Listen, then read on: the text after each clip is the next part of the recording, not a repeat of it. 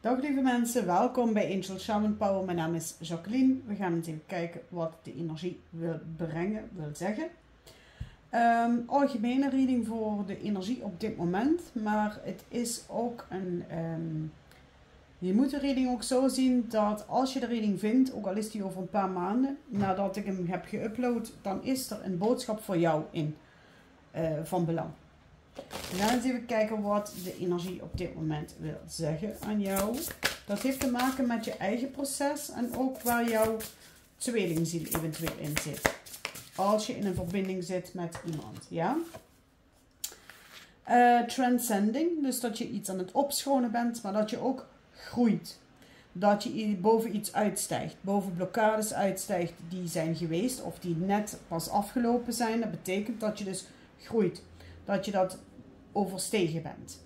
Zo mag je het eigenlijk zien, Pegasus. Dus even kijken of we hier wat meer licht kunnen maken. Nou ja, dat is in ieder geval beter zichtbaar. En dan de kaart Guardian of uh, Spirit Guardian of Autumn. Letting go. Dus je bent iets aan het loslaten, je bent het, bent het ontgroeid. Um, dat kan zijn een stukje tussen jullie samen. Het kan ook een stukje in jezelf zijn, wat je dus eigenlijk ja, geleerd hebt in het verleden. En dat je daar bovenuit gestegen bent. Dat je dat dus hebt mogen zien dat dat, uh, dat, dat klaar is. En dan de kaart Generosity. Er komt nu overvloed. Je bent nu klaar voor overvloed. En dat kan dus zijn dat jij of je tweelingziel of samen, dat jullie klaar zijn om in ieder geval die overvloed te delen. Maar ook, um, het, je ziet ook de basis, um, het rode, van het basischakra, dat je dus meer in je eigen kracht staat, meer stabiel staat. Ja? En de kaart Enlightenment. Dus je hebt een inzicht gekregen waar je dus misschien nog vastliep, of jij uh, hebt dat als Divine Feminine of de Divine Masculine heeft een inzicht gekregen van verhip. Daar liep ik nog een beetje vast. En dat maakt niet uit, als je daar je licht op laat schijnen, dan gaat dat gewoon opgeschoond worden. En dan kun je dus ook verder, dan ga je dus ook door een poort heen. En dan ga je dus ook door de poort heen voor die overvloed te ontvangen. Zowel in jezelf, dus de basis, ja, basischakra, als ook um, ja, in 3D. Dus zo binnen, zo buiten. Ik moest de uh, dierenkaarten pakken, kreeg ik te horen. De boodschappen van de dieren van Colette Baron Reed. Die, moesten, die wilden zich laten zien. Nou, waarom? Ik weet het niet. We gaan hem meemaken. Die heb ik al heel lang niet meer gebruikt. Wat willen de dieren jou vertellen?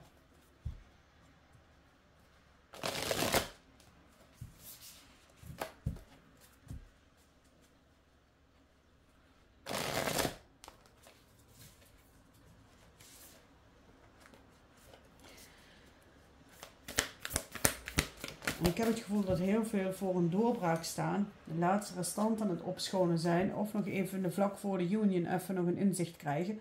Maar dat wil niet zeggen dat dat heel erg eh, moeilijk moet zijn. Maar je ziet het, het is klaar. En het, op, het is opgeschoond. Weet je, het gaat gewoon makkelijk. De antilopen, het, het leven gaat steeds sneller. Ja, je gaat ook steeds sneller dingen opschonen. Je gaat heel snel dingen in balans krijgen. En uh, ja, alles komt dichterbij wat je eigenlijk wou. Dus dat droomleven, als je dat al gemanifesteerd hebt, dat zit eraan te komen.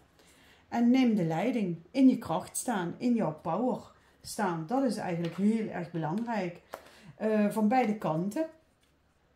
De een uh, gaat misschien uh, iets meer zeggen, de ander komt daardoor in zijn ware kracht.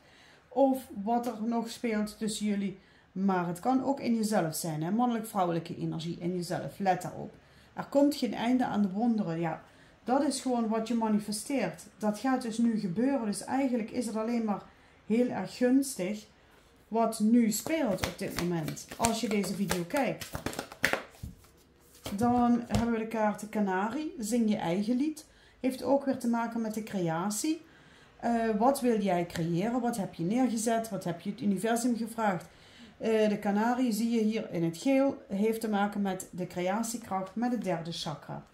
En je dient natuurlijk ook, je innerlijk kind, dient natuurlijk ook in de energie van jouzelf te zijn. Daarmee bedoel ik dat je een eenheid moet vormen met je innerlijk kind. Het zeepaardje neemt waar en wacht. Dus eh, kijk, zie en ja, het komt naar je toe. En wat bedoel ik met het innerlijk kind? Uh, ik heb gisteren een healing gedaan. Misschien ga ik, daar over, ga ik daar morgen nog een aparte video over doen. Ik heb gisteren een healing gedaan, of afgelopen dinsdag. En de healing was een algemene uh, healing hè, met de ank.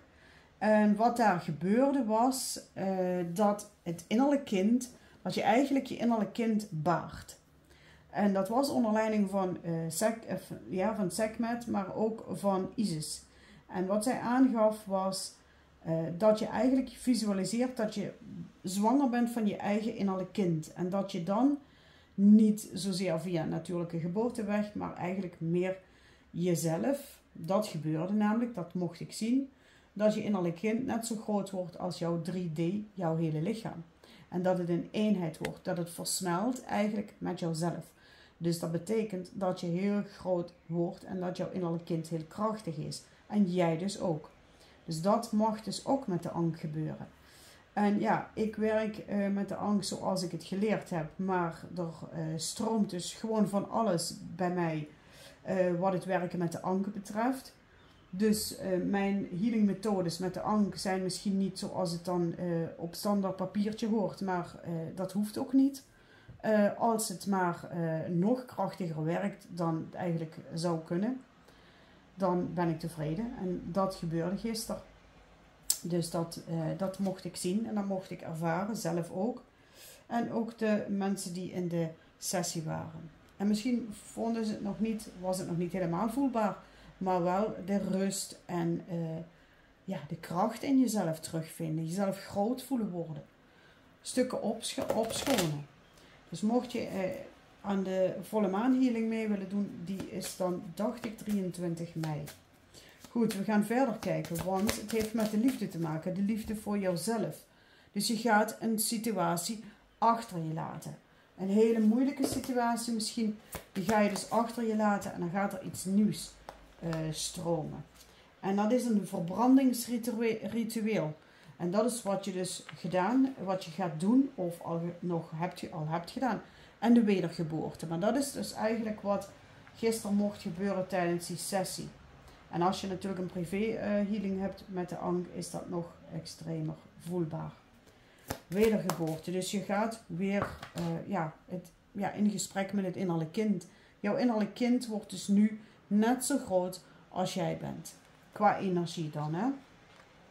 Toch moet er nog wat. Uh, ja, de vrijheid, die ga je dus echt krijgen. Die vrijheid ga je krijgen, alles gaat stromen. Um, want je schaduwwerk is eigenlijk belangrijk om naar te kijken. Als je dit hier wilt ervaren, dien je je schaduwwerk aan te kijken. En dan dien je ook die zorgen en het verdriet, et cetera, en het lijden achter je te laten.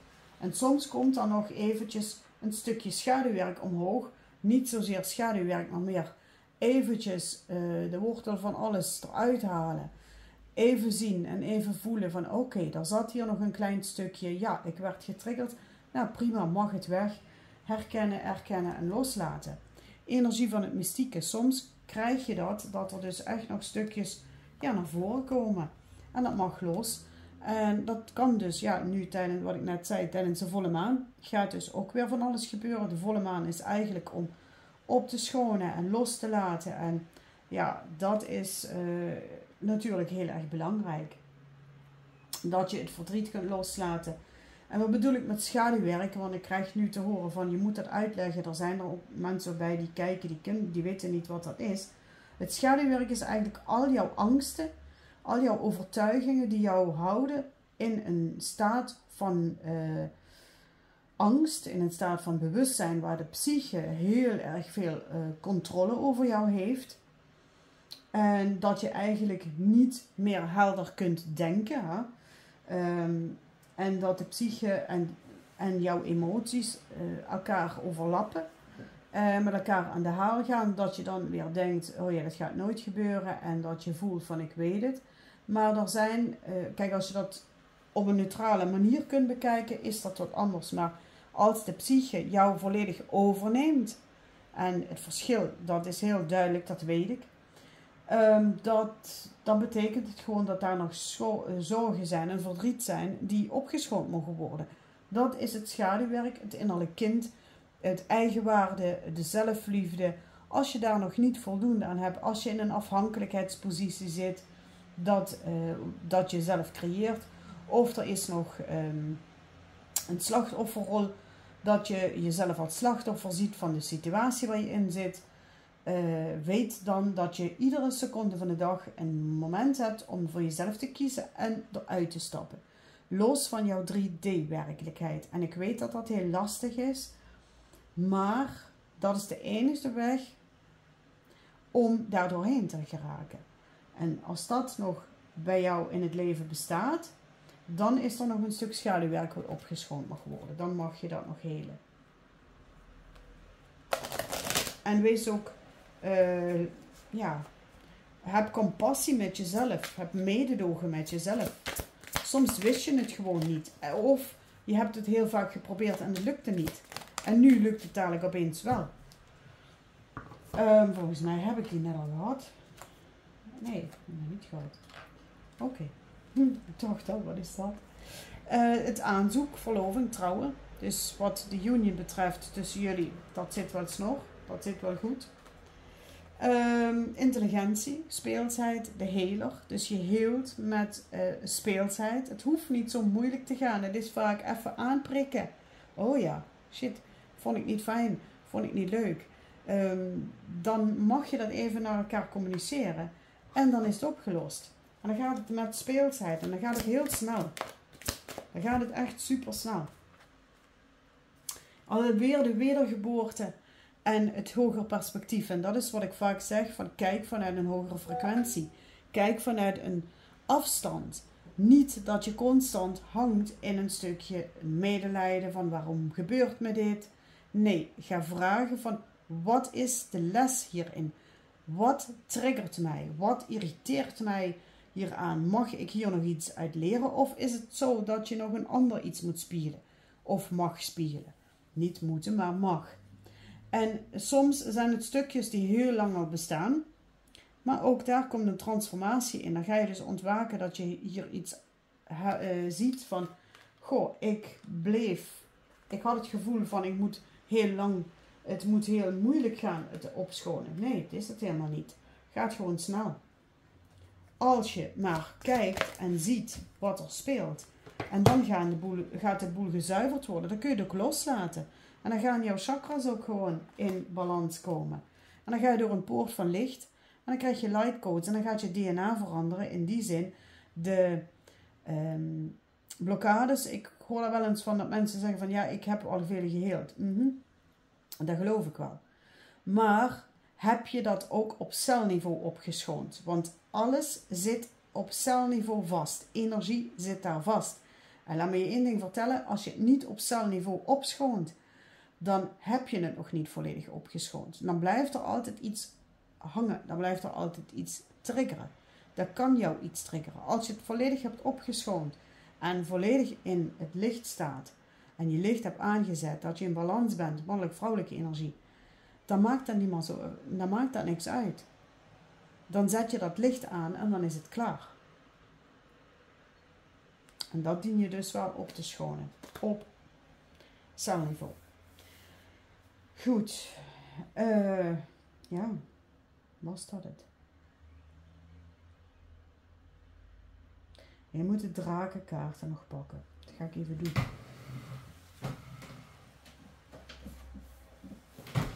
De drakenkaarten. Ik werk daar ook vaker mee met de drakenenergie.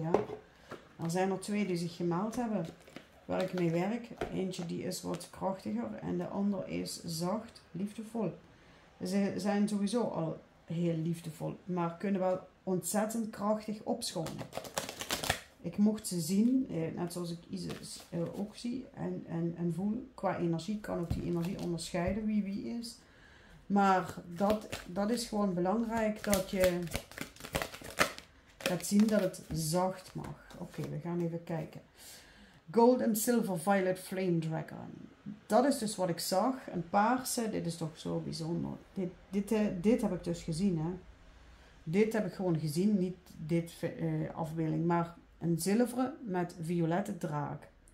En die transmutes the old within around you with wisdom and grace. Dus hij transmuteert het oude met wijsheid en gratie. Het is tijd voor transmutatie, magie en heling.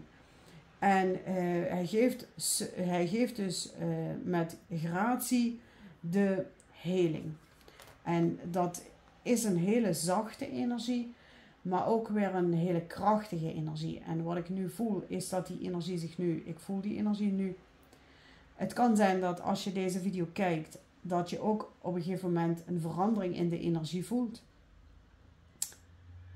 Um, en dat is dus hoe ik in sessies werk met, met uh, ja, entiteiten, noem het maar zo, dat vind ik een na. Uh, met spirits. Laat ik het daarop houden, met spirits.